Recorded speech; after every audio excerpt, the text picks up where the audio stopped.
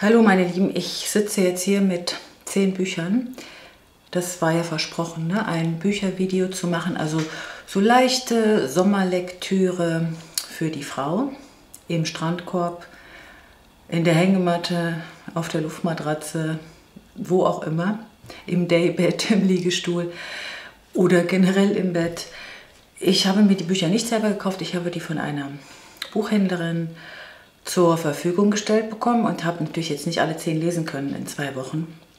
Ich habe äh, zwei gelesen, zwei oder nee, drei habe ich gelesen und die anderen habe ich jetzt angelesen. Ich kann euch ja sowieso nur den Autor nennen und den Titel und man, den Klappentext, den darf ich euch vorlesen. Ansonsten darf ich nicht aus den Büchern lesen.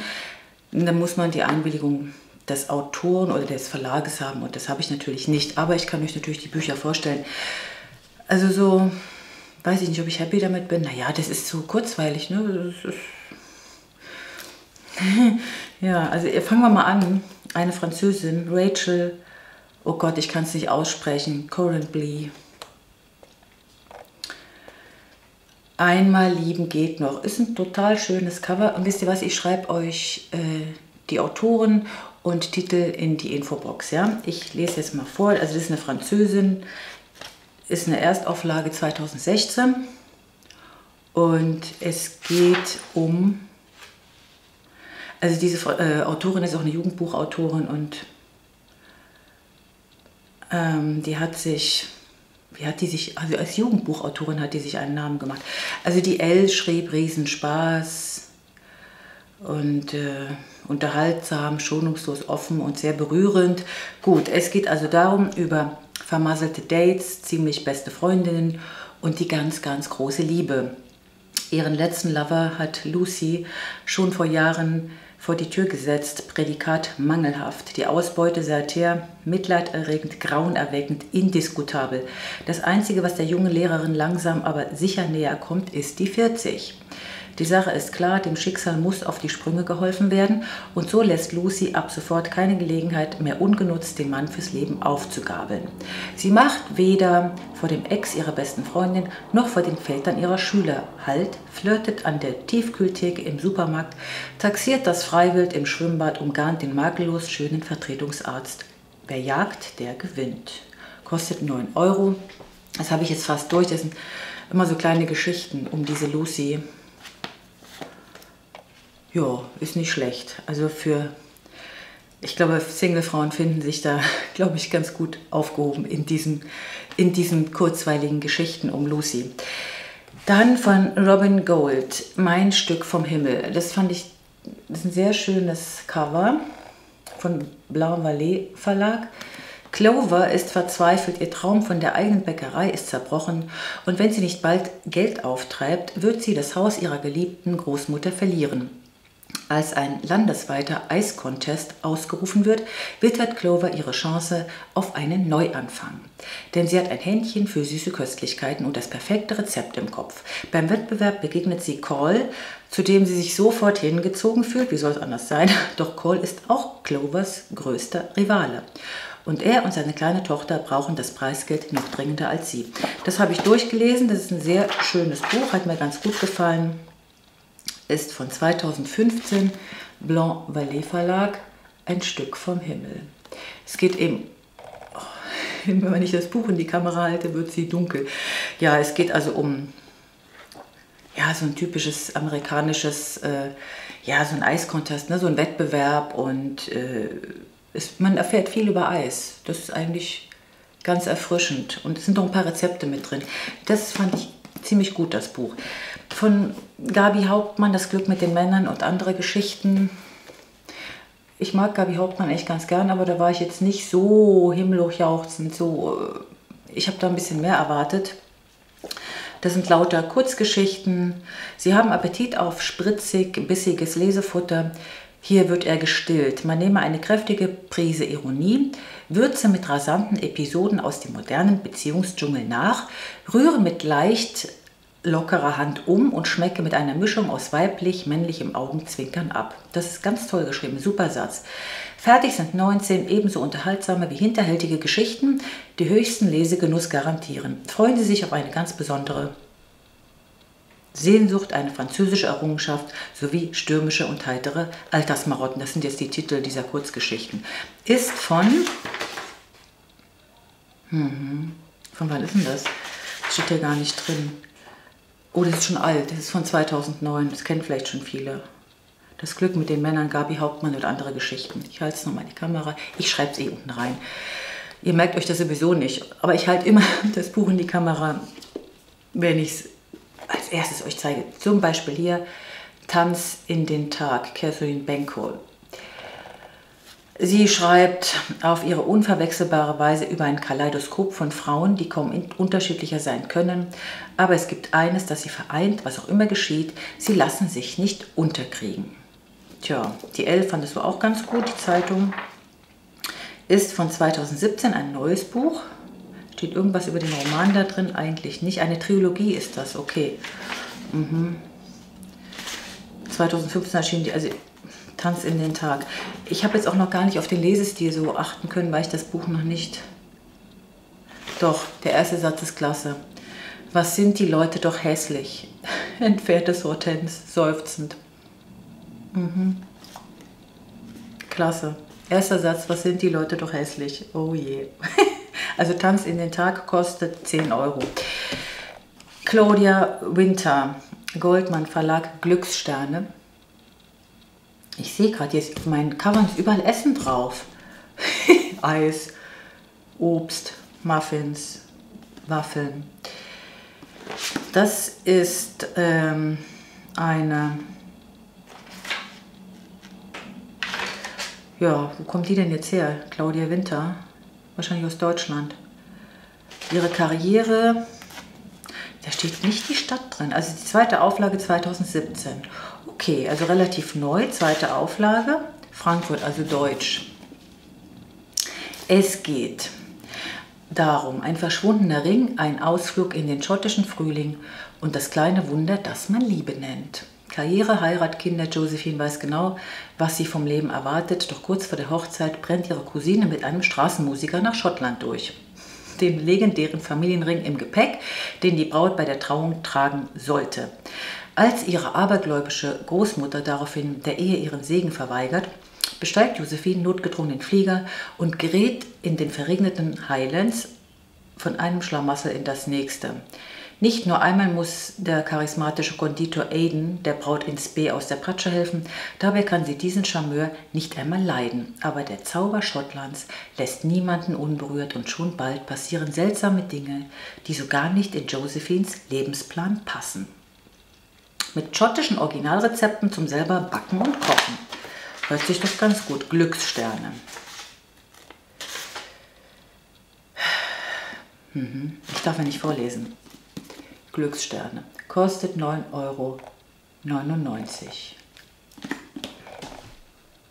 Tja, Dana Bate, ein Herz für Muffins. Guckt mal. Also meine Freundin muss auch gedacht haben, der gebe ich mal ein paar Bücher mit lauter Essen drauf.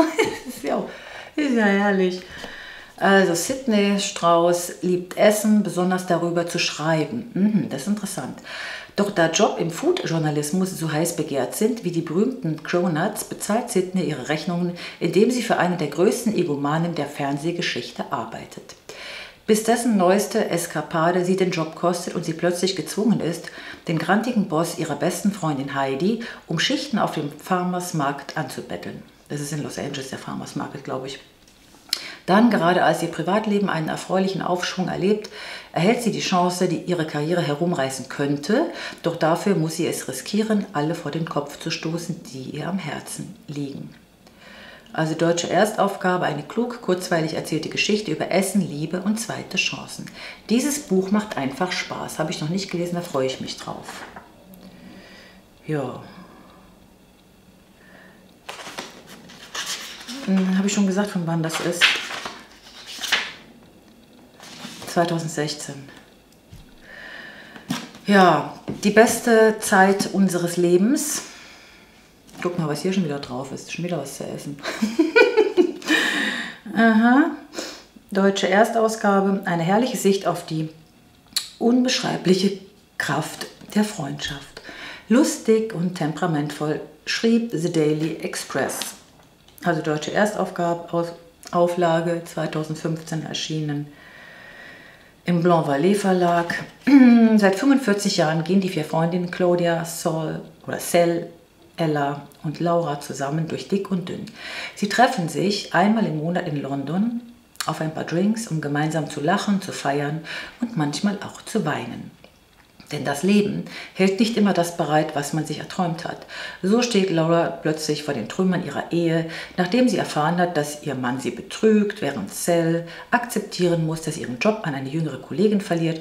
Doch die vier lassen sich nicht einschüchtern, denn sie wissen, dass sie, was immer auch passiert, auf ihre Freundschaft setzen können. Also das ist eine Hommage an die Freundschaft, ist auch schön, also kann ich mir ganz gut vorstellen. Ein dickes Buch kostet auch 9,99 Euro. Dann A.B. McDonald, Mein perfekter Sommer. Ich glaube, da geht es um ein jüngeres Mädchen. Ein Großstadtmärchen in der Wildnis Kanadas. Jenna freut sich auf einen Sommer bei ihrer Patentante in Kanada.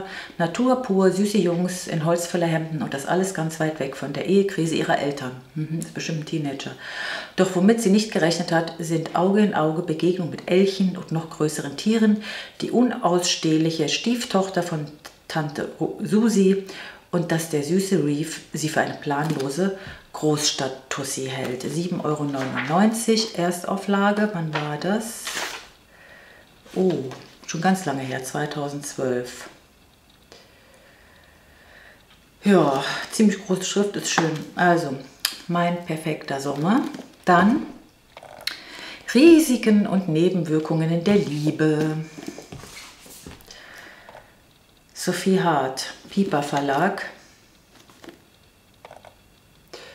Für Annie mit ihrem ausgeprägten Hang zu romantischen Komödien das Normalste auf der Welt. Sie selbst ist zwar unfreiwillig Single, verhilft als Sextherapeutin jedoch anderen Paaren zum Liebesglück.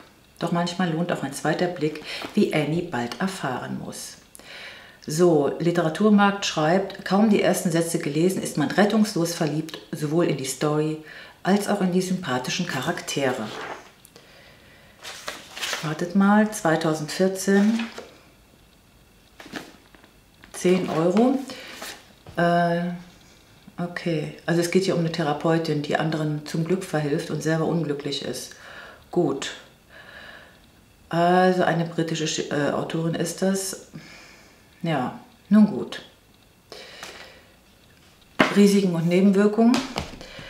Also dann habe ich hier eins, also das, das, da kann ich, also die Spiegel-Bestseller-Autorin Sylvia Day, Crossfire, Vollendung, ich kenne das nicht. Das muss wohl eine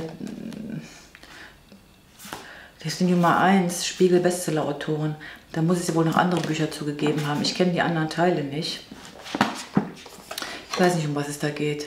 Gideon und, Eve, der reiche, attraktive Geschäftsmann und seine junge Ehefrau, sind verbunden durch ein verzweifeltes Verlangen nach grenzenloser Liebe. Ach, das ist sowas wie Shades of Grey wahrscheinlich, Crossfire. Mhm.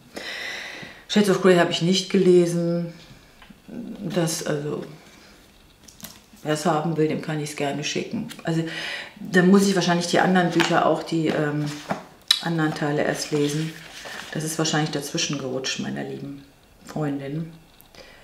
Ja, also hemmungsloses Verlangen. Mhm. 2016. Erste Auflage. Also das ist bestimmt eine Trilogie oder so.